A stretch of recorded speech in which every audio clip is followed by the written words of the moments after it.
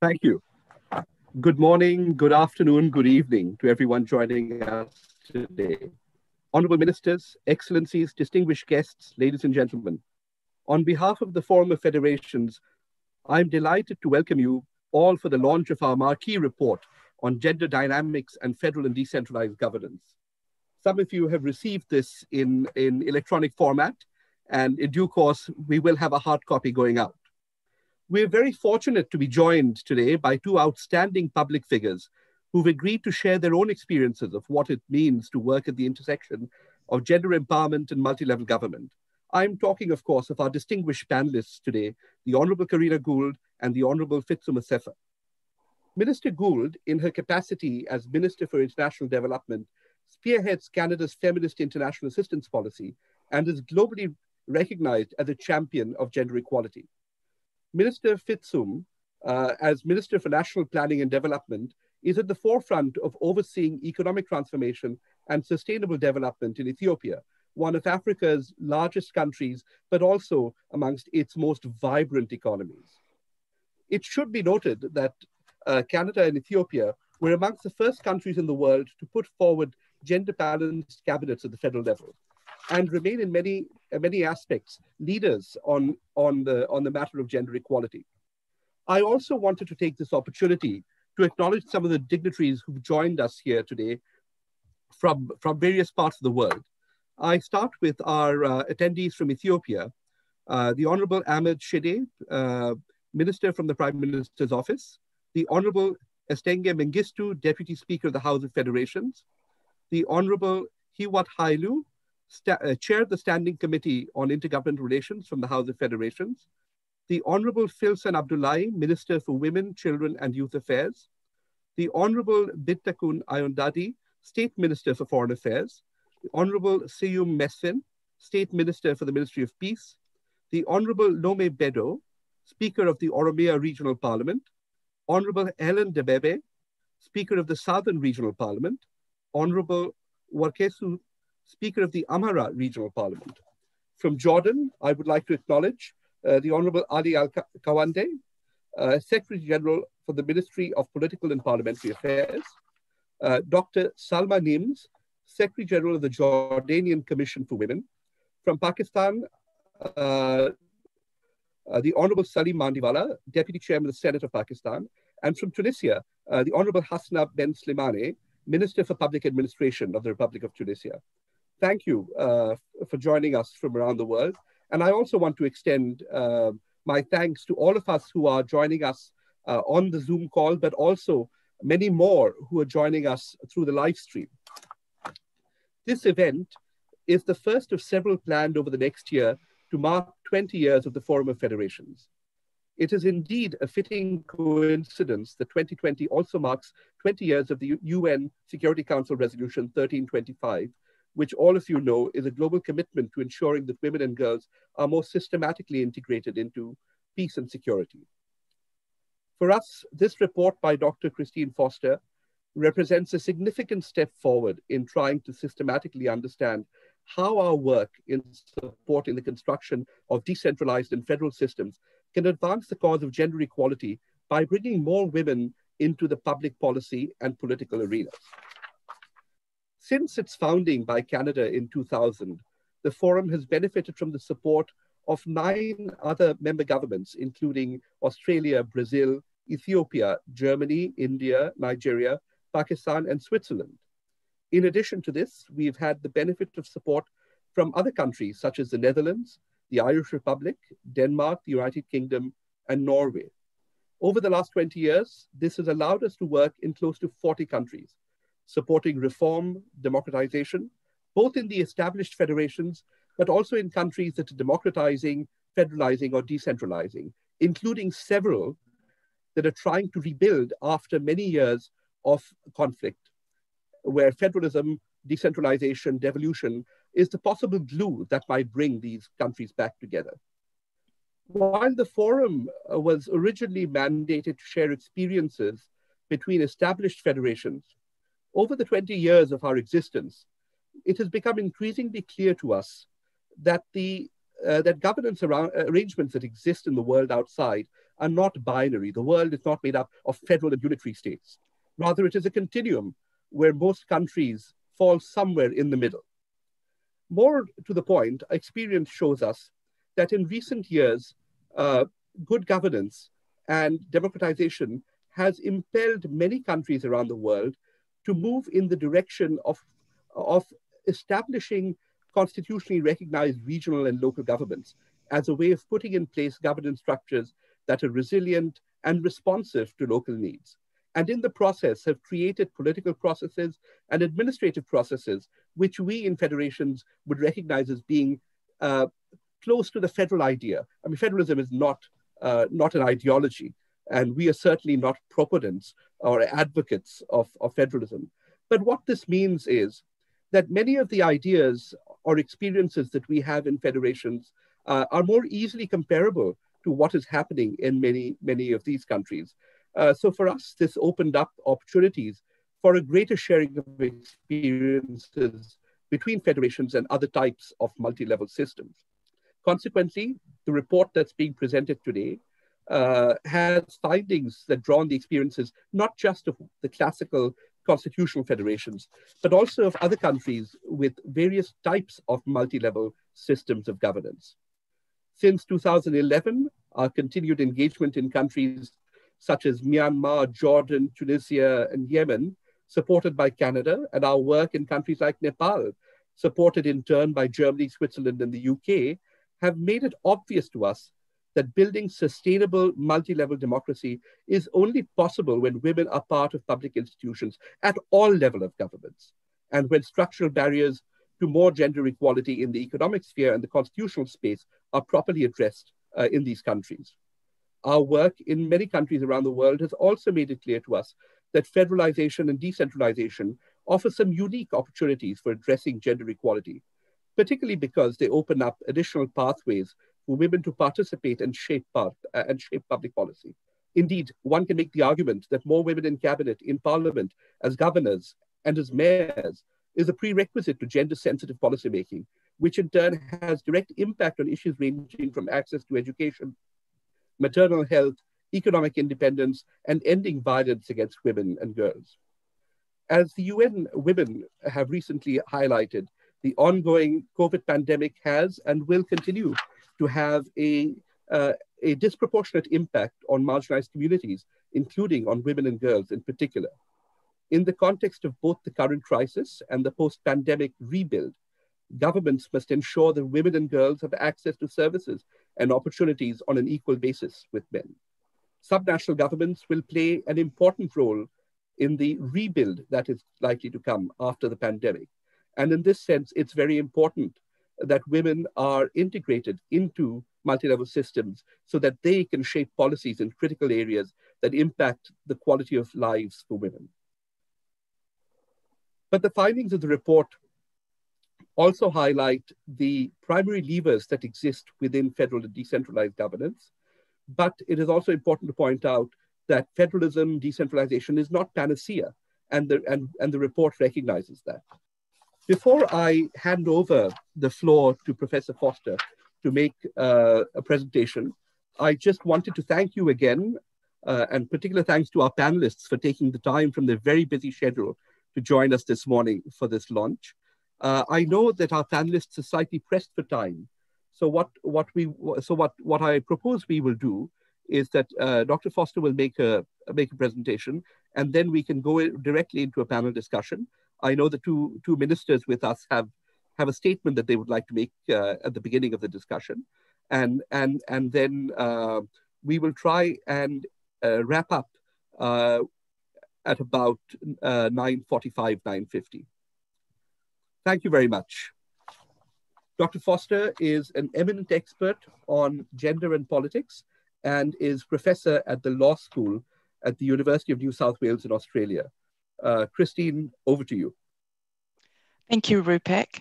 And first of all, I would also like to thank uh, Ministers Gould and Assefa for participating in the launch and convening to discuss this really important issue of gender equality and governance. I'd also really like to, to thank the forum and acknowledge the forum for prioritising this really important issue. Although gender equality is a major concern for women globally in all governance systems, um, this particular report focused on federal and decentralised countries. Um, it looked at six thematic areas uh, protection of rights, family relations, service delivery, political representation and participation, and economic empowerment. Um, and within those six areas, it identified federal advantages and federal disadvantages in the furthering of gender equality. So the report found that there is no one size fit, fits all solution um, that can encompass the complexity of federal architectures. And of course, that appropriate strategies for advancing and furthering gender equality have to be considered within the specific context of each country. Um, but it did find that there were advantages and opportunities that emerge from federal, federal arrangements of governance. So I'd just like to highlight a few of the key findings of the report. So, first of all, federal countries provide multiple access points for the women's movement and their allies to lobby for reform measures. So, the more decentralised the federal system, the more access points that are available. So, what multiple access points mean is that if the central government is resistant to gender equality measures, women and their allies can focus on receptive subnational units to lobby for positive gains. So, just to give an example, in the area of protection of rights, the report found some federal countries where domestic violence legislation had been successfully enacted in some progressive subnational units, even though other subnational units were resistant to such legislative changes. Another example in political representation and participation. The report found that federal systems increase opportunities for women's political representation and participation because there are more public office positions available.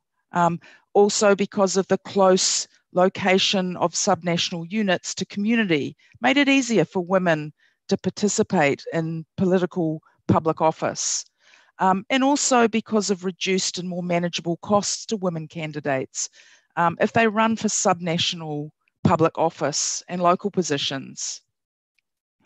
The report also found that federal systems could provide advantageous conditions that support the introduction of additional measures for example, the introduction of gender quotas, which have been shown in lots of research that it is the most advantageous way to increase women's political representation.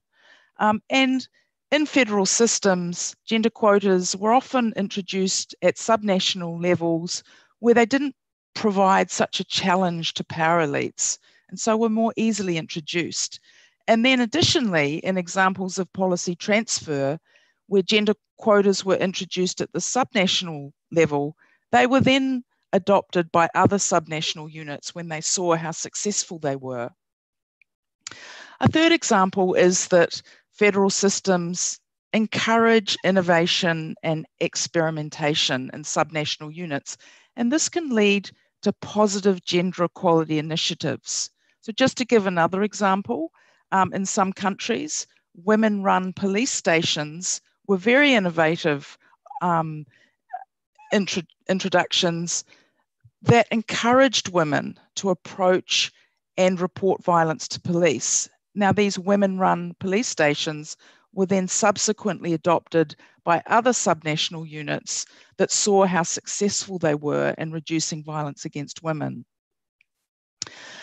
Another important point that the report found was that new federal systems particularly offer opportunities for the advancement of gender equality reform because of institutional newness.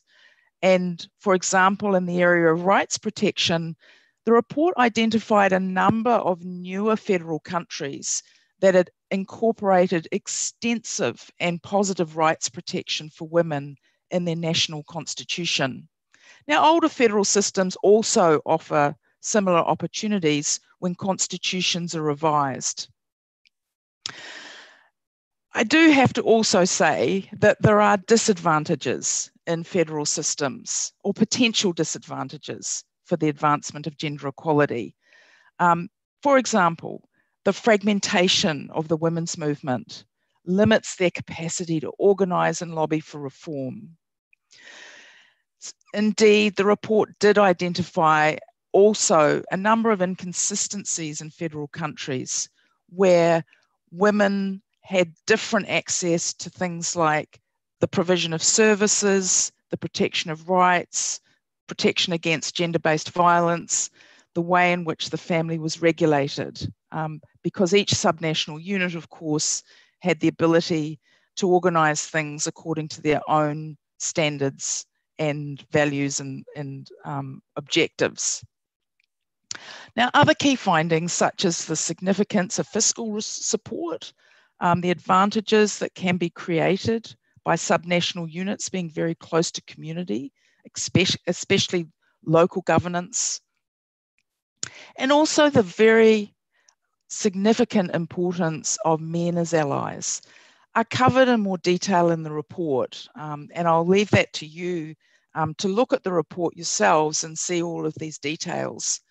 And finally, I just want to say that I hope that the report supports initiatives in federal and decentralized countries that will enable the important furthering of gender equality and the protection of women's rights. Thank you very much. Thank you very much, Christine, for the presentation. Um, I've just noticed uh, that I uh, that uh, Speaker Adam Farah, the Speaker of the House of Federations, has joined us, so I'd like to welcome him uh, in addition to the other dignitaries that I mentioned previously. I think at this point we will go into our panel discussion with uh, Minister Gould and uh, Minister. Uh, again, thank you very much for taking time to join us. Uh, let me start by asking Minister Gould to comment a little bit about the experiences that you've had in government on promoting gender equality both domestically, regionally, as well as globally. Sure. Well, uh, first of all, Rupak, uh, let me just start by congratulating you and the forum for on your 20th anniversary. It's quite a, a milestone, and I'm so delighted to be here with all of you to do this and also not just to be celebrating the 20th anniversary but to be talking about gender equality um, and governance and federalism i think it's uh, it's it's a really wonderful uh, conversation to be starting off with um, i think when we think about um, you know, it, advancing our understanding of the impact of federal and decentralized governments on gender equality you know we're we're talking about equality much much broader. Um, and you know the forum of federations is an important partner for canada in support of governance political participation and peaceful pluralism. Its work is well aligned with the priorities of canada's feminist international assistance policy a policy that represented a significant and deliberate shift in our international assistance when it was launched in 2017. And this pivot recognized explicitly the root cause of poverty and instability is inequality. So, therefore, we seek to amplify the voices of the poorest and the most marginalized, especially women and girls in all their diversity. So, we believe this is the most effective way to eliminate poverty, create lasting peace, and achieve sustainable development. And we know that when gender based legal and social barriers are eliminated, women can participate fully and meaningfully in, part, in public life. And then, without a doubt, when women and girls have equal opportunities to succeed, they can be powerful agents of change. But the most persistent gender gaps exist in political participation. Barriers to meeting this fundamental condition of democratic governance continue to exist in every region of the world. That's why, despite their low numbers, women political leaders at all levels play an important role in helping to break down the barriers that prevent women and girls from succeeding in all areas of life, not just in the political realm. So, as role, model, role models, they help transform attitudes towards women in society and in the home, and their presence in government also leads to better decision making. A turning point in Canada's ability to implement this shift towards a feminist approach was the support of leadership from the top. When we see concrete action, it sets the importance of gender equality and the empowerment of women and girls. So, for example, in 2019, Prime Minister Trudeau appointed his second gender balanced cabinet in Canadian history and renewed gender equality as a domestic and international priority. Canada adopted a comprehensive approach to integrating gender equality in all areas of G7 work during its G7 presidency in 2018. And under Canada's leadership, the G7 endorsed targeted initiatives to improve the lives of women and girls around the world with regard to sexual and gender based violence, education, and humanitarian action. Another key pillar to our policy is inclusive governance. We support governance that better serves all citizens through respect for human rights governance that strengthens legal empowerment, encouraging greater participation in public life, and governance that makes sure public services work for everyone. Since 2015, Canada has supported projects that contribute to increasing the participation of women in municipal governance in Africa, Eastern Europe, the Middle East, and the Americas. A cornerstone of our feminist approach to international assistance is working hand in hand with local women's organizations as they play a central role in spearheading change in support of the empowerment of women and girls and gender equality. Here's a recent illustration. In Ghana and Mozambique, women's networks were able to issue news releases and engage in dialogue with government officials to promote women's leadership and decision making as part of the COVID 19 pandemic response. National female leadership has a positive impact on the COVID 19 response. We have made a lot of progress since 2017, but there's still a lot of work to do to achieve gender equality. We want to be able to say we did everything we could to recover from this global pandemic and move towards a more equitable world. So there's a lot to discuss, and uh, I'm looking forward to carrying on the conversation. Thank you very much for your comments. I'll uh, move over to Mr. Fitsum. Uh, let me start by uh, saying I've just been informed that it's uh, Mr. Fitsum's birthday today. So happy birthday to you, Minister. Oh. Again, we're delighted you could join us uh, and, and make time on your birthday, more, moreover. Uh, so the same, the same question to you. Uh, we'd be very keen to know what, what you're doing to promote gender equality domestically, regionally, globally. Thank you so much, uh, Honorable Minister Gould, uh, uh, Honorable Ministers, Ladies and gentlemen, good morning, good afternoon, and good evening, depending on which part of the world you are joining this important conversation. Let me begin by extending my heartfelt appreciation to the Forum of Federation for organizing uh, such important and timely conversation on the report entitled Gender Dynamics and Federal and Decentralized Governance. I'm also grateful for sharing this virtual stage with Honorable Karina Gould, Minister of International Development of the Government of Canada. As it's clearly discussed in Dr. Forster's research, all governance models, including the federal system, presents their own challenges and opportunities in addressing gender equality. Any form of governance system has its own historical, social, and cultural dynamics, which impacts the path of progress for gender equality which means there is not a perfect model of governance system that fully and completely addresses the crucial issues of gender equality. While each country has its own context, the issue of gender equality, the struggle and the search for just society where the equality of girls and women is not an afterthought, but the main national agenda uh, is universal.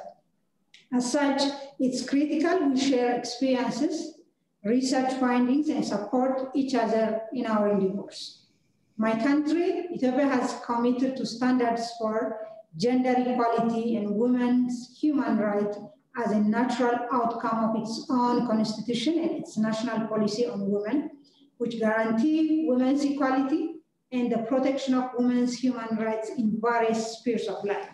The family law and the penal code have been made more congruent with international and regional instruments. Ethiopia, as a member of the international community, has signed a number of agreements promoting and protecting the rights of women. It has ratified the Convention on the Political Rights of Women and the Convention on Elimination of All Forms of Discrimination Against Women. Ethiopia has also adopted the the principles of 1995 Beijing Platform for Action and has endorsed and engaged with the Sustainable Development Goals. Under the new leadership of the Prime Minister Abiy Ahmed, Ethiopia embarked on an ambitious reform process that supports and facilitates the promotion of gender equality and women's empowerment. Women have been appointed, as you uh, mentioned earlier, to key leadership positions such as a cabinet with 50% of women ministers. We have the first woman head of state in the country's modern history. It also led to the appointment of the chairperson of the National Electoral Board and the appointment of the women's rights champion as the country's Supreme Court president. We are encouraged by the advances we made while we still have a long way to go.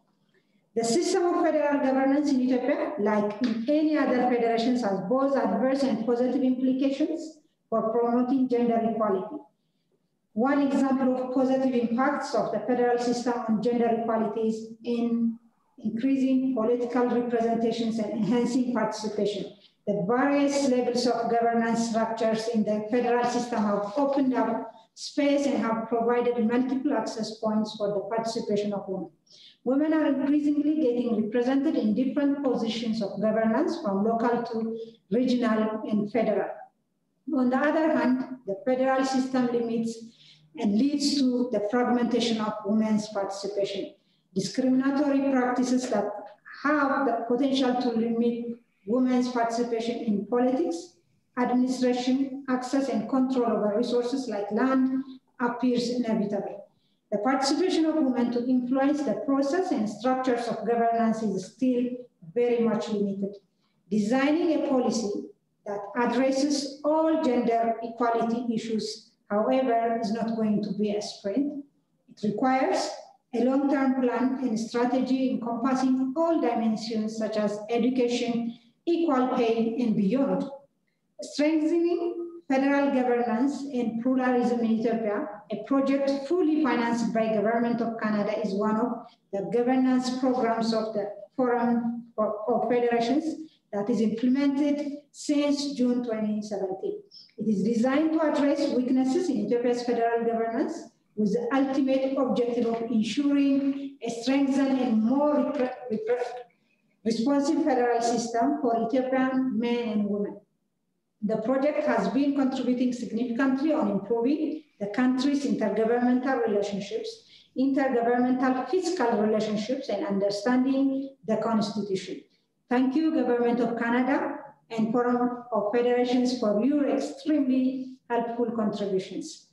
We learned that ensuring gender equality occupies the central place in Forum of Federations, strategic directions, and it has recognized gender equality as a construct, as constitutive element of federal governance that requires women and men have equal opportunities to participate in and influence the process and structure of governance. We understand Canada's feminist foreign policy, which is based on broader principles of inclusivity, being people-focused, accessibility, and collaboration.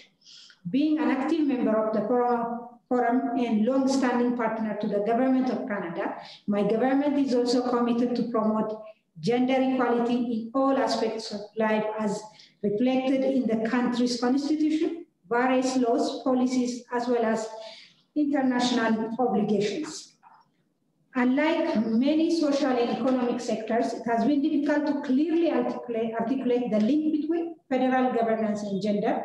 This report has significance and supports the process and structures of gender responsive federal governance. It examines the complex dynamics of gender equality in federal countries, including Ethiopia, in selected areas, including rights protection, service delivery, violence against women, family relations, political representation and participation, economic empowerment.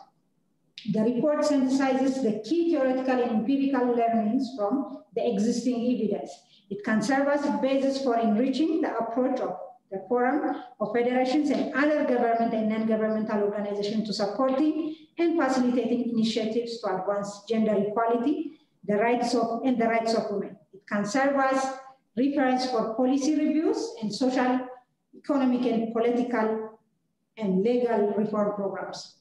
On behalf of my government and on my, on my own behalf, I would like to congratulate Professor Christine Posters Forster from law faculty at the University of New South Wales in Sydney, Australia for her diligent and excellent piece of work. I would also like to thank and congratulate the Forum of Federations to commission this work and organizing its launching webinar. Happy 20th anniversary and wish you many more successful years ahead. Thank you so much. Thank you very much, Minister Fitsum. Uh, I'm going to now uh, move slightly to the unscripted part of the uh, of the event. Uh, I'm going to ask. I'll, I'll start by asking Minister Gould a little bit to draw on your own experience as a politician to to to, te to, tell us, in your view, uh, the best way that policymakers can leverage and maximize opportunities that federal and decentralized systems might provide for advancing gender equality, and what you think might are some of the uh, obstacles and how they might be overcome.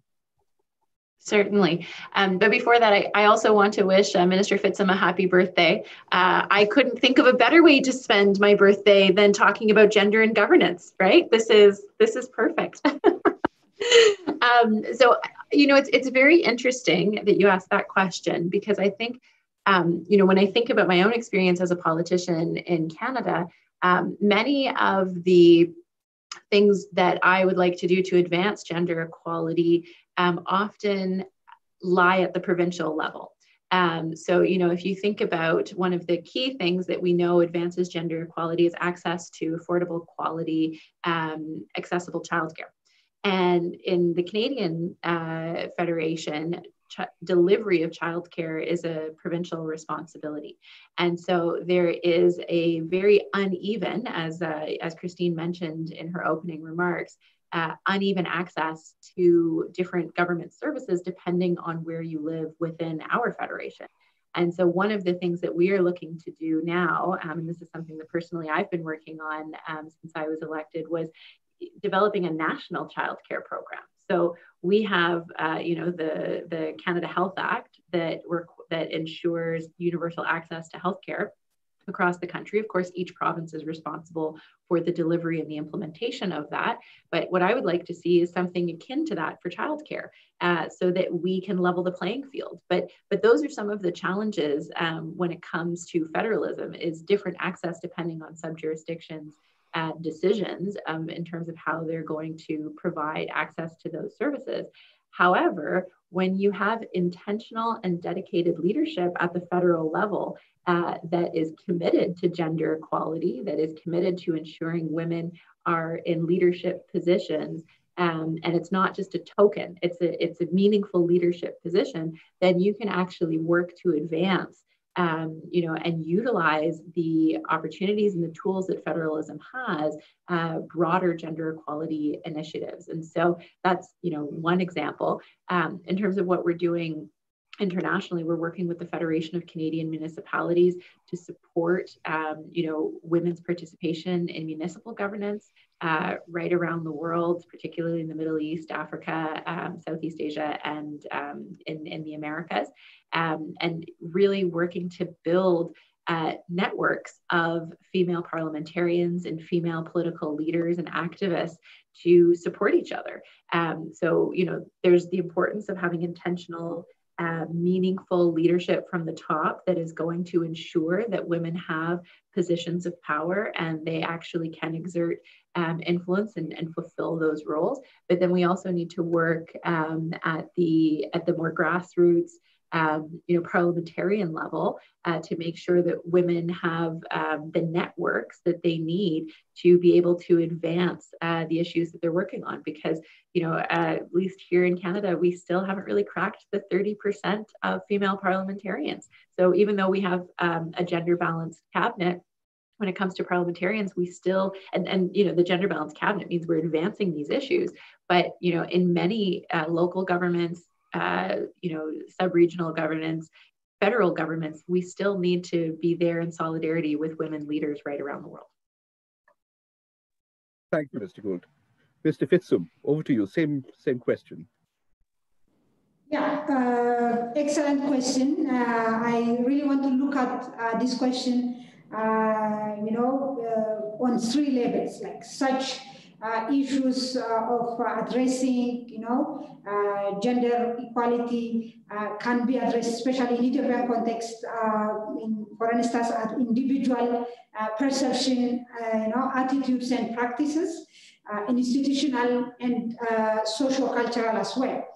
Uh, some of the measures that uh, the government can really take and uh, in fact is trying to uh, work on at the moment uh, include and may include promote women's rights, uh, safety and participation, uh, which uh, includes intensive awareness creation campaigns, especially in countries like Ethiopia, where you know gender roles are clearly Uh, you know, uh, narrated and crafted uh, in such a way uh, that, you know, some roles are given uh, to only men and some are to women. So we really need that awareness creation, intensive awareness creation campaigns and promotions and advocacy works.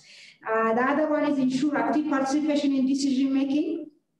Uh, again, as I've said earlier, uh, there are, for instance, some uh, big influential portfolios which uh, uh, used to be saved for only men uh, in all, you know, levels of leadership. So that should change, and such influential and you know big portfolios should also be really given to women so that you know, they influence so that they prove themselves that they can. Uh, the other one is continuous leadership development support, trainings, coaching, experience, sharing, you know, this all because uh, as I mentioned earlier, awareness raising to others as well as, you know, in uh, such uh, societies like Ethiopia, uh, women themselves second guess, you know, their own abilities. So it really needs continuous coaching, continuous experience sharing and trainings. Uh, the other one is ensure political environment are free from discrimination and gender-based uh, uh, violence. you know, recognition, motivation, role modeling of women and decision-making capacity change the institutional culture, rules, norms. Uh, and in addition to that, uh, I really want to uh, mention my experience when I joined uh, the office that I'm uh, working at the moment.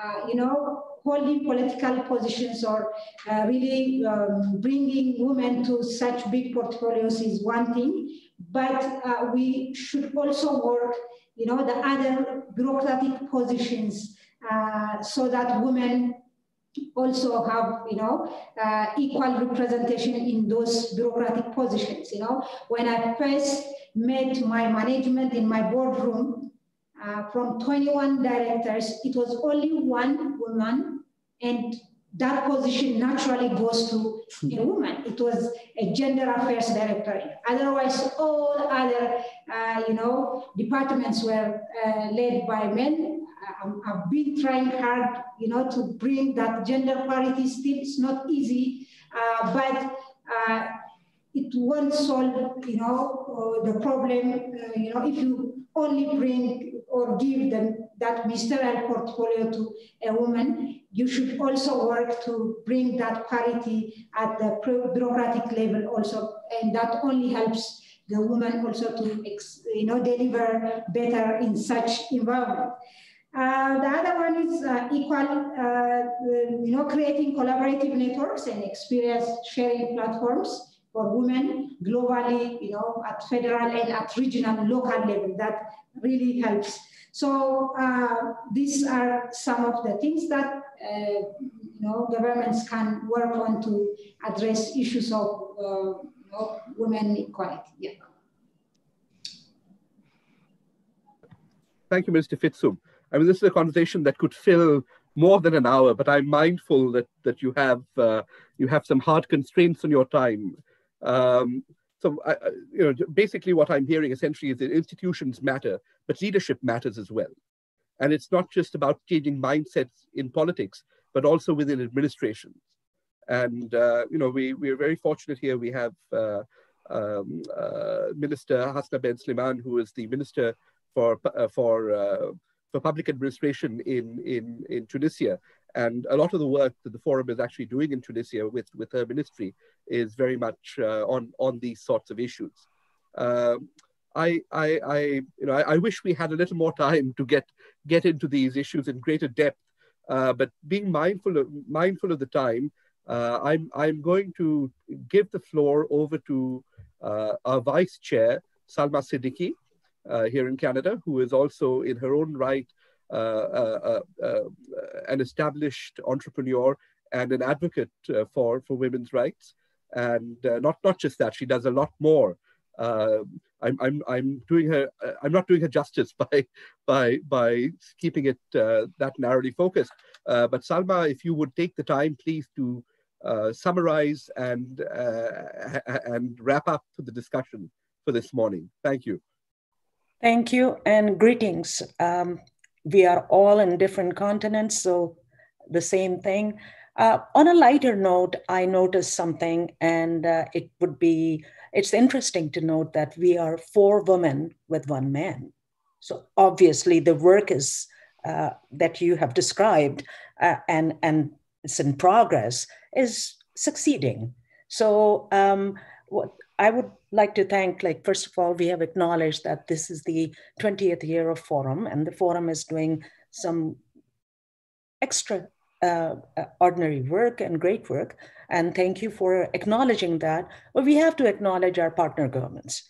Without their support, we could not have gone anywhere. So today we stand uh, where we are and hopefully continue uh, this important work uh, on gender equal, uh, equality and the progress that needs to take place.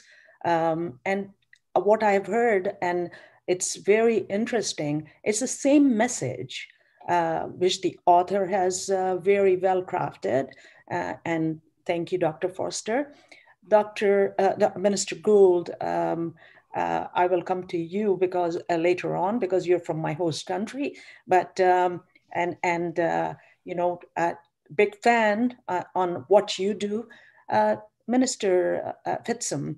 It's interesting to see how Ethiopia is working and progressing on the gender equality.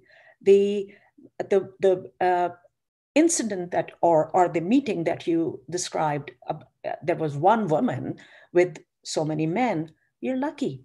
I've seen men working on women's issues and telling us how to do things. So at least that was one woman. So now we are going to take over. I, as as you can see from this panel or that we are four women and one man. So uh, but again uh, great work and the messaging is the same almost like what the author has uh, uh, described very well in this report and thank you. And um, what minister gould has said and uh, again like i would like to address uh, if i possibly can uh, as i'm a proud canadian uh, the fact that what has happened on in gender equality and the work they are doing. And and it is all around circle and we all work together. We are a global community and uh, great work. So i would like to see next year when we have a similar uh, not a similar webinar but in person uh, uh, uh you know gathering. And minister gould has already accepted so because she nodded so um, the chief of staff can note that that uh, you know this is taken. We'll come back to you with a date. Yeah, so um, and we all look forward to having you. And I know the time has passed four minutes, and I, uh, everybody is ready to go. Thank you so much for for uh, joining, and anybody who, who is joining. Uh, it's great. Uh, I just need to give a shout out if I'm totally getting off to someone who, uh, who I admire is Monica Leroy, who's listening. And she's a great woman at uh, um, advocacy. So great. And thank you so much. And thank you for giving me this forum to be talking to such uh, talented younger woman than me. But again, I'm I can be doing anything that anyone want to do. So let's go, move on. Thank you. Have a great day. Happy birthday. Thank you so much. Thank you all. Once again, thank you everyone for joining us. And I just wanted to give a shout out to my colleagues, Liam Whittington, Diana Chebanova, John Light, and Asma Ziribi for putting this event together. Thank you. And, and we'll we look forward to speaking to you uh, all again. Thank you, Minister Gould. Thank you, Minister Fitsum. Thank you. Thank you so much. Thank you. Bye. Take care. Bye-bye. Bye.